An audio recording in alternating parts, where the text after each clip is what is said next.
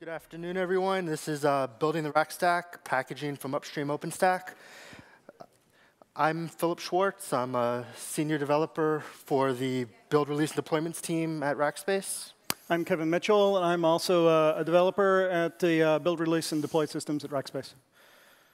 All right, so we have a couple objectives for this as a whole. We're going to talk about the evolution of our packaging of OpenStack inside of Rackspace, the process that we're using for packaging, and the future of the actual process. This here is a just overall view of what our team does and the different pieces that go into it from a high-level area. In this actual talk, we're going to talk about a couple things. We're going to talk about our interactions with Git in order to build packaging, our ply tool that was created by a Racker that is designed for doing patch management, and also the packaging system itself. What we're not going to cover in it is any of our deployments and actually the targets of the deployments. We're only talking about the object of what we deploy. So let's go ahead and get to the packaging context itself.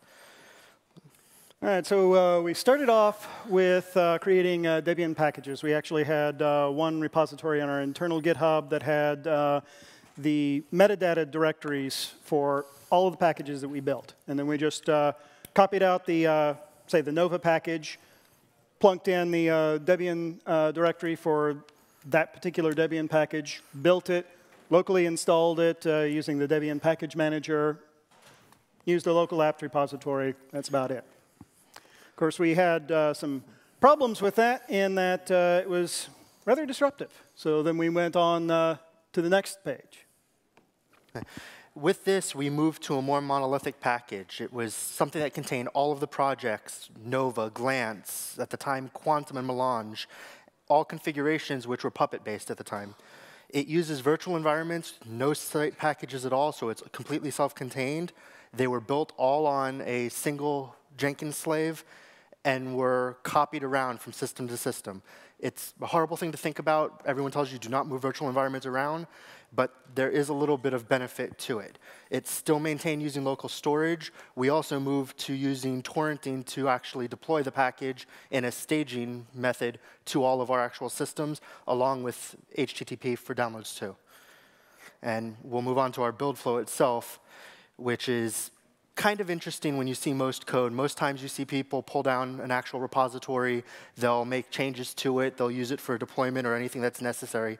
We go a little bit beyond that. We use the tool ply to merge a local repository that stores nothing but patches to Git inside of it.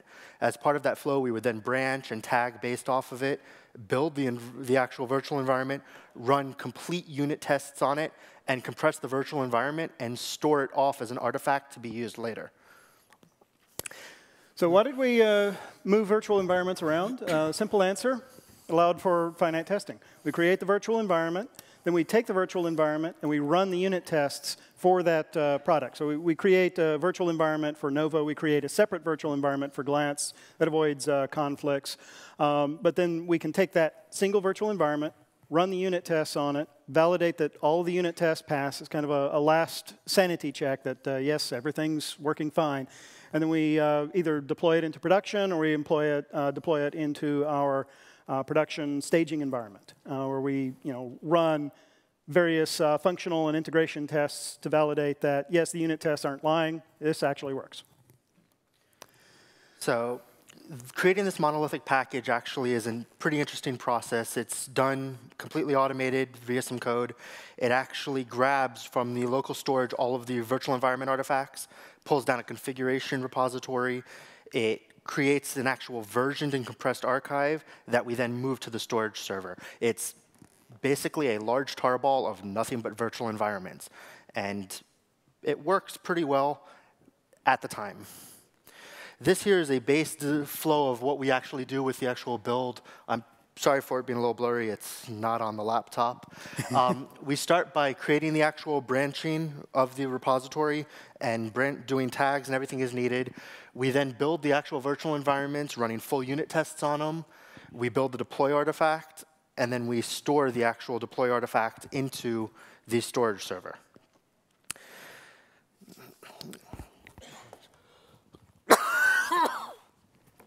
Sorry about that.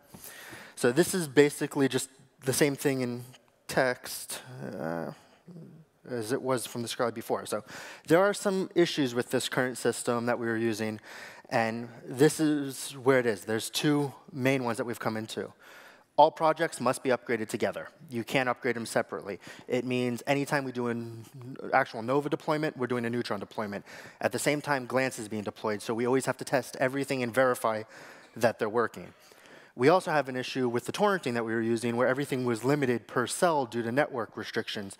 So when we would actually do the staging, we would copy the package out to each system cell by cell, which over time could take a long period of time, especially when you see that in Rackspace we're currently running upwards of 144 cells in our production environment over six regions.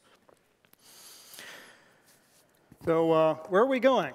Well, we're going to get rid of this uh, monolithic package. Uh, we've already started the process. We've uh, pulled Neutron out into its separate package. And just to be clear, that's a, a virtual environment and configuration, but none of the other systems. Uh, so it's not like our monster tarball. And we're uh, in the process of doing that for StackTach, which is a, a monitoring tool, uh, and uh, Ironic. and we intend to do that for Glance, and then eventually we'll actually pull Nova out separately as part of this, we're also changing how we're storing them and how we're deploying, actually staging these packages out. We're moving to using Swift to actually store the object, and we're using some custom Ansible modules to generate Swift temporary URLs, shard the actual um, artifacts across Swift containers, and then using those temporary URLs with Ansible to pull the package down to each of our systems, removing that entire restriction of one cell at a time well, this is the basis of the build flow and what it's actually changed. Not much has changed here, but you're able to see that we're now building separate, pack, separate tarballs for each of the actual projects. All right, and uh, what do we use for actually building these packages? So the primary thing we use is a Jenkins server. We're actually uh, in the process of setting up multiple Jenkins servers because, well, Jenkins doesn't really scale. We use uh, static slaves, uh, at least uh, originally, uh, to do this, but we've uh, since moved on to setting up Docker containers. So we launch a, we launch a Docker container, and then we run a tool inside of that, which actually builds the virtual environment, tars it up, puts it into an artifact store, and we do an, another one that downloads that, runs the tests, another one that downloads that virtual environment, sticks it into a monster tarball, and uploads that to an artifact store. Uh, so the actual uh, tools that we use, we use uh, Ply. If you're interested in that, it's uh, up on PyPI as PlyPatch, and that was written by uh, one of our rackers. We use the Python standard virtual env, and we use pip. And of course, we also have an internal build tool that we use. Um, that's what 4,000, uh, yeah. 4,500 lines of code, yeah, 18,000 lines of unit tests because we want to make sure that it actually works. Yeah, we've had, we've had a lot of people when they've seen the code base look at us and they think it's completely crazy with the amount of tests that are there. But how we've seen it is this is a tool that we use and we depend on for our production environment to verify that what we build, the virtual environments and these packages, and any way we actually do that will always work. So we're guaranteeing that when we build one of these, these actual packages, that the virtual environments will always be built in the same manner, will always function the same, and that they run exactly the same. It, the tool is completely Python-based. Again, it's just over 4,500 lines of code with 18,000 lines of tests to verify and control what it's doing. And that's a mixture of unit tests and functional tests. And we use full ini-based configurations for it. Yeah, and uh, this tool handles more than just the packaging. Um, so uh, we have uh, pull requests internally. We maintain uh, Neutron, Nova, et cetera, repos on our internal GitHub, and then make pull requests to that. And this uh, project is also responsible for running the tests on that. So that means that uh, when we run the tests after generating the package, we know it's the exact same tests that were run when the developer uploaded their uh, pull request in the first place. so that gives us better confidence that it's working. So the way the tool works is it's uh, based around a Jenkins uh, environment, uh, Jenkins workspace. So it just runs as a Jenkins job. Uh, in fact, it gets the name of the Jenkins job, uses the ini configuration to figure out what it's supposed to do. So the uh, build script for these is dot slash bootstrap. That's it. Uh, we use uh, Git and Ply for uh, maintaining uh, upstream pulls, you know, pulling stuff down from upstream, merging it in with our local patches, um, putting it back into our internal repository. Uh, we do Git branching and tagging for releases. we use virtual environment creation using virtual env and pip. Um, this is an interesting point. Um, we have well, we have a Neutron client, right, on our internal GitHub and we want to use our version of it rather than the upstream version of it. We may have had uh, we may have found some bugs and fixes, fixed them, but haven't had a chance to contribute them upstream, or maybe it's something that's uh, specific to our environment. So uh, the tool that we have actually parses the requirements files and finds these uh, overrides, is what we call them, and uh, will install the overridden package rather than the uh, upstream PyPI version. Um, we use uh, runtest.sh to uh, run the unit tests. This is an unfortunate limitation. Uh, Tox right now doesn't allow us to supply our own virtual environment. That, that work is in progress, uh, but it is not yet complete. So we have to use um, a shell script that uh, lets us say, hey, use my virtual environment. Um, we compress the artifacts using you know, tar, GZ, stuff that you would normally use. Um, create the packages, um, create a monolithic package. Now, of course, we're creating the, uh, the project level packages. So the next step that we're going to from here is we actually are open sourcing this tool. It's a tool that's going to be called Striker. We're going to be making it available through a StackForge project. There are some changes that are coming down as we're doing it. It's still going to remain heavily tested. It's still going to be Python-based.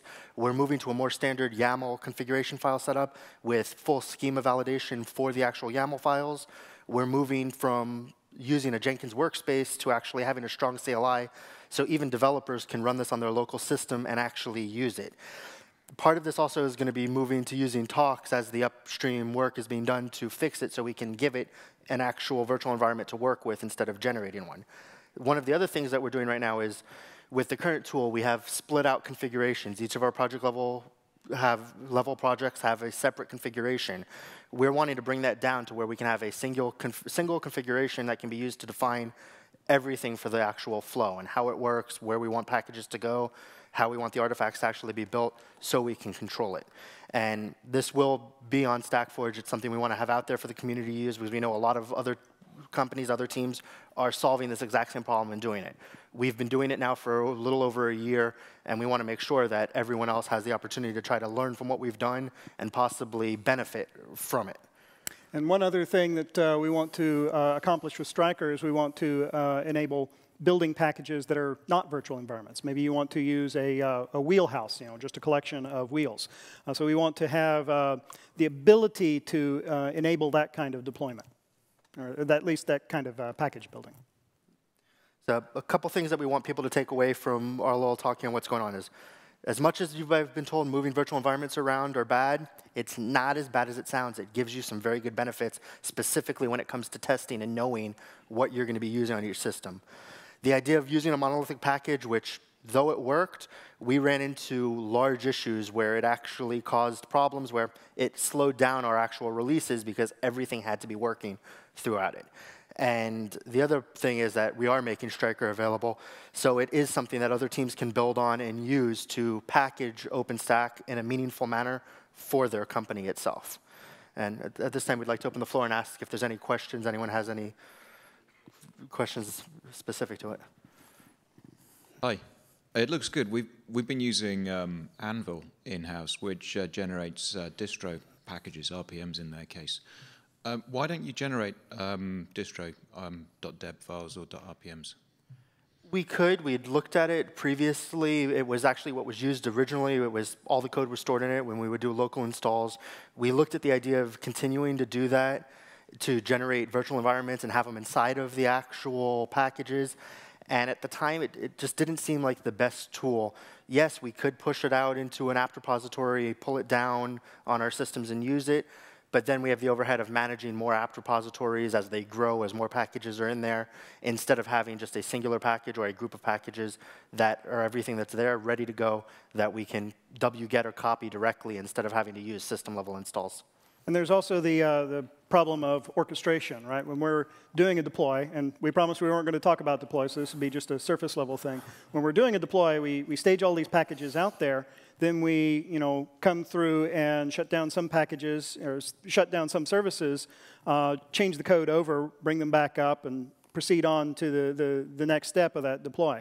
Um, when we have uh, a package going in, um, we may have the, the package manager helpfully start the service for us, and that kind of messes up with our coordination. Maybe we want to change that around. So. And the other thing is noted in that is when you are doing a deployment, if you're using the package manager, you have to pull it down at the time of deployment. We can't have things out ahead of time. And with our larger environments, with the growth that they've had, that would actually add a considerable time to when we would have possible downtime for customers while doing those deployments. Okay, but the, uh, the package, man package manager will give you uh, dependency resolutions and conflict management and those things. Are there any, um, any benefits that you can see of Striker over um, an approach like Anvil that um, we haven't just covered? The one advantage that we've seen with it, and we've even seen it in our own use, yes, you can get dependency resolution from the actual package manager. The problem is it's not always determinate how it wants to do things. If there's two packages with a similar version number or it's a, a, letter in a different place in the actual version or something of that nature, you're never guaranteed exactly what you're going to get. You're going to have to always override and make sure that you have a newer version than what you've put into the package repository previously and newer than what might be available on the actual OS. So you can't truly control what version's coming down because if there happened to be an update outside of what you're wanting to do, the package manager will try to go for that unless you do pinning, and pinning in apt and yum is not always pleasant at times to do when it comes to deployments and things of that nature.